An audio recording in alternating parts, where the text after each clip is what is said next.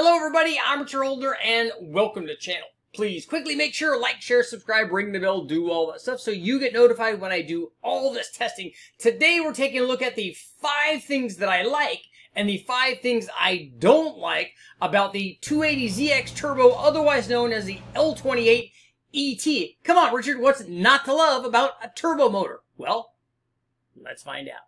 Okay guys, now that I've shown you my inspiration and the fact that I've done lots of research on this particular motor, let's talk about the five things that I like and the five things that I don't like. And we're going to start out with the five things that I don't like about the ZX motor. In this case, it is a 1983 280ZX turbo motor, an L28 ET.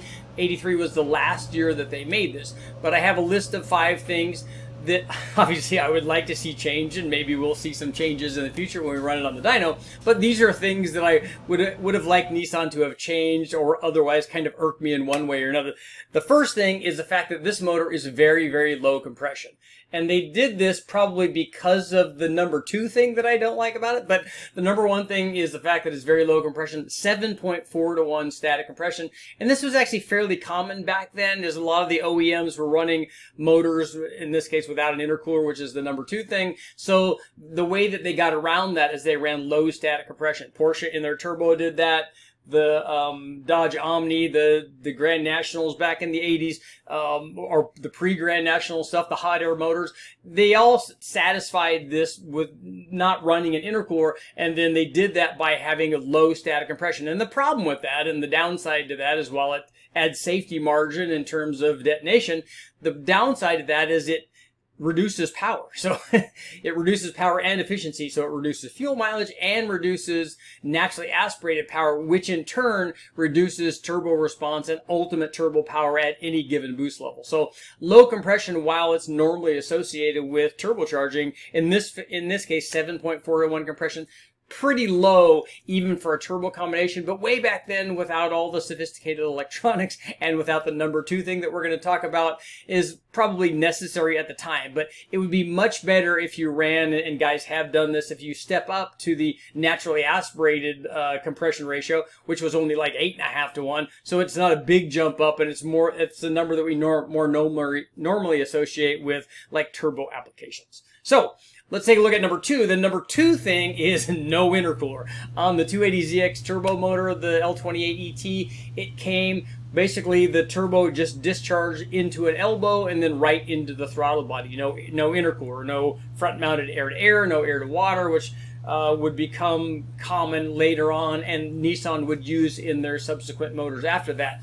But having no intercooler is part of the reason probably why they combine the very, very low compression. No intercooler and low compression kind of go together. It helps, again, a safety margin, helps eliminate detonation. But the problem with not, not having an intercooler, obviously the safety margin, detonation, but also lack of power. Because as we saw, like with the Dodge guys and the 2.2 and the 2.5 stuff, and with the, the Buick and the Grand National and the hot air stuff, once you add an intercooler to those applications, you can get away with running a lot more boost even you gain power even running the same boost, but you can run more boosts and more timing, and it's just a better situation. So having a factory air-to-air intercooler or something on the 280ZX, but it's a very common modification and one of the things that we're going to test. Not having an intercooler, obviously a big check mark against the 280ZX motor. The number three thing is, and this is more of a personal thing, and something more toward the modification end of the scale. But if you take a look at the fuel rail, and I'll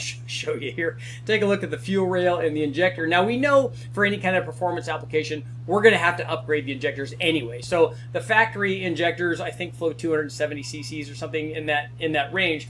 But and they're designed to work in the given power range that the, that the motor was going to be operating in, and all of that works well. And if we're going to make more power, we're going to upgrade the injector size anyway. We're going to put 70s or 80s or thousands or whatever we put in, depending on how much power we want to make. So when I do this stuff, especially on a turbo motor, I always look at upgrading injectors. But if you look at the fuel rail situation and the rubber hoses that they use to connect the the rail to the injector, it's just you know we're going to replace all that. We're going to put a regular dedicated um, aluminum extruded fuel rail on it, and they're available from the aftermarket. And it's a much better situation. Makes hookup on the dyno much easier. So, so the factory fuel rail is not high marks for me on the on the 280ZX Turbo.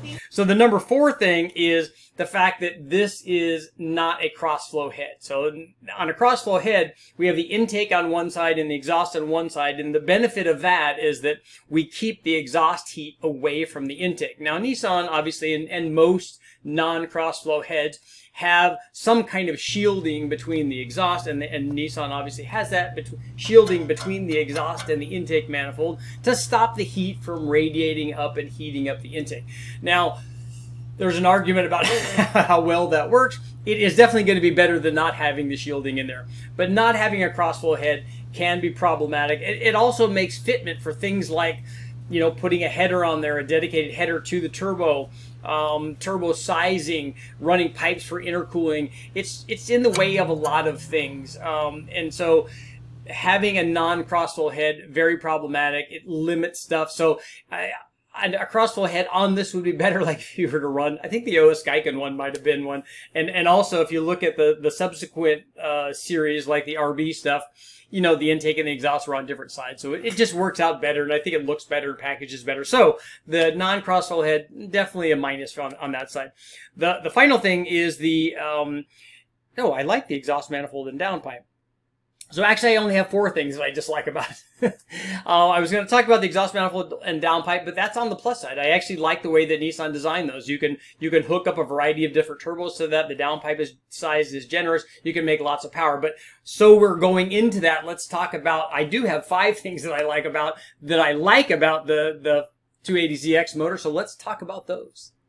So now that we talked about the five things that actually make it four things that I didn't like about the 280ZX or things that I would like to change, let's talk about the five things, and I actually have five things that I really like about the 280ZX turbo motor. And the first thing is the fact that it's a turbo motor. I mean, right off the bat, how do you not love a factory forced induction motor? And the reason that I like them, besides the fact that it's a turbo and I love everything that's involved with turbocharging, um, besides that, when the factory does a factory forced induction motor, whether it's a turbo or some kind of supercharger, whenever they do these, they make them extra robust. And that's the way that the 280ZX Turbo is.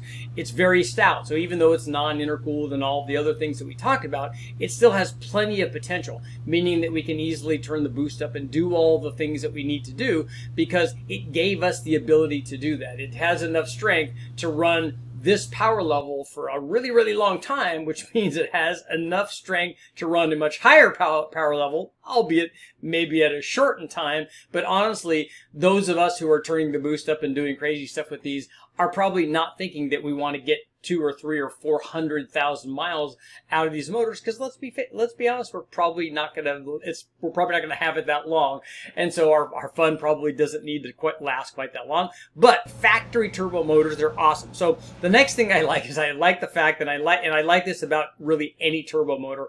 I love the fact that Nissan put turbo on the valve cover because when you open the hood on somebody that knows what they're looking at, they'll go, oh, yeah, that's obviously a 280ZX turbo motor or some sort of L series turbo motor because it has, I can see the turbo one, I can see the intake manifold, I can see the hoses. Even if I can't see the turbo down under there because we talked about the crossflow head, I can see tubing going up to an intercooler and coming back or, or, or not in the case of the factory one. But I know that it's a turbo motor. Even the uninitiated, when they pop the hood, they're going to say, oh, that's a turbo motor. And I know that because it says turbo right there on the valve cover. And I think it's a good valve cover design. It just has good eyeball and I like it. So way to go, Nissan.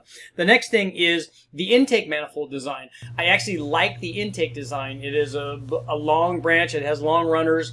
It's good for torque production. I think we'll find out in, in all of the testing, we're going to find out that that manifold actually works fairly well. I know I'm going to get guys that tell me, oh, it doesn't flow enough. You need the like short, big uh, plenum Greddy style kind of thing. And yes, ultimately for flow, if you want to go to a bigger runner and a shorter runner, what you're going to do is you're going to extend the RPM range. And it's going to want to make power much higher but what it's also going to do is make less power down low. So I'll demonstrate the adjust uh, with an adjustable intake design what happens when we change runner length. But the factory intake, again, I like it. The one thing that I would want to change on the factory intake manifold, and this is something that all of the L series guys do when they're swapping in 280, especially if you're running an aftermarket ECU on it, is you get rid of all of the stuff on the top of it. You just clean up the intake manifold so you can see the intake manifold and it's not full of switches and hoses and everything going on. On the factory stuff, you know, you have to, they had to kind of do that. But if you're swapping that into something else, luckily you can get rid of a lot of that stuff. So the next thing is, I like the fact that it has a factory oil cooler. I think that that's a good design, especially on a turbo motor, because let's face it, some of these guys might be running things. I mean, back in the day, this thing was good for more than 140 miles an hour, and that may not seem like much now, but back in the day, it was fairly fast. This was, thing was like a 143 or 144 mile an hour car right from the factory, and anybody that turned the boost up or put an intercooler on them, they would go even faster. So it wouldn't be unusual that a guy might be out running that, let's say, in the Silver State or something like that, and then running at high speeds for a very long time oil cooler always a good idea on a turbo motor and I like the fact that they did that right from the factory. So the final thing and and this is one of the things that just speaks to me about this motor. This is like if you look when I first bought my I, I'm a Z owner so I've owned two of them uh, both early ones, 240 and 260. But one of the coolest things I like about the Z, and one of the things that speaks to me about the early one, is the little underhood light. So it's really elegant and cool. It's off to the side. You have a little switch that you can flick and the light can go on, or you can unscrew the cap. It's got a little dome on it and it has a little, it has a little electrical cord that unwinds and you can wind it up and you can hook it up on your thing so that it ha- you have a light for when you're working on your car. That, those kinds of little touches I love.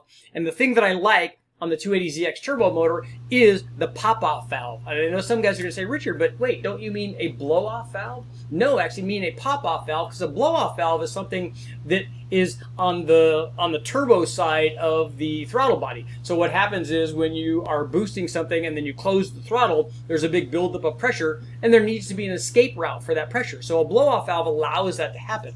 This is on the other side of the throttle body. It's just a pop-off valve or, or if you will, an overpressure valve. It is a simple mechanical device, a spring-loaded diaphragm that what happens is Nissan said, look, if we if what happens if the vacuum line or boost line go into the wastegate or the electronics or something fails, we need we need to make so that this thing cannot make boost. And the way that you do that is with this valve and it with a spring and a diaphragm. And what it does is if the boost gets too high in the intake manifold, it just opens up and says, look, you're not making a whole bunch of boost.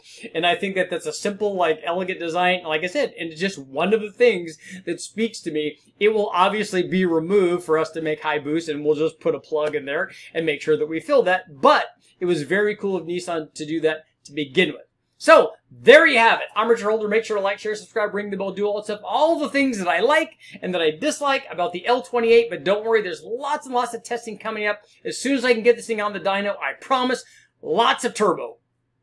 You know, I often get asked, hey Richard, what is your inspiration for testing the motors that you want to test? Sometimes it's very simple. Sometimes it's ones that I just find in the wrecking yard. Sometimes it goes back even deeper than that. And on this L series Nissan, it goes way back and I can point my finger exactly why it's from this book. If you have not read this and you're interested in turbocharging, this is Maximum Boost by Corky Bell. It is required reading for anybody that wants to learn anything about turbocharging or everything about turbocharging. Very good book, but for me, way back, I remember looking at this particular picture. You can see in there, this is an L Series Nissan with side draft uh, Mikunis on it. So this is a turbo setup blowing through side draft Mikunis. And ever since I saw that picture, I have wanted to turbocharge an L series motor, either a 240, 260, or 280. In this case, it's going to be a 280ZX turbo motor, a factory original turbo motor. But ever since I saw that in the Corky Bell book, I wanted to do this. So now it's time to get going. The other thing that inspires me to do this is I went on searching online everywhere to try to find information on what happens when you do turbocharge these motors or what happens when you do upgrade if they're a factory turbo motor and I'm oftentimes disappointed in the amount of information that's out there. What happens when you add an intercooler? How much power do you get? How much does it lower the charge temperature? What happens when you increase the boost? What happens when you put a camshaft in there? What happens when you put a ported head on there? What happens when you change the downpipe? What happens when you change from a cast iron exhaust manifold to a header? Basically, what happens when you do any kind of upgrade that we normally do on any turbo motor? What exactly happens when you do these things one at a time. And that's what I go look for. And that's what I try to provide. So what I'm going to do is run through a series of tests on an L series motor on the engine dyno because let's face it, it's going to be a lot easier. The other thing that's going to be beneficial is also I'm going to have a standalone management system so I can make sure that the tune is optimized for every combination. That way we have back-to-back tests so we can finally answer some of these questions. What happens when I do these mods?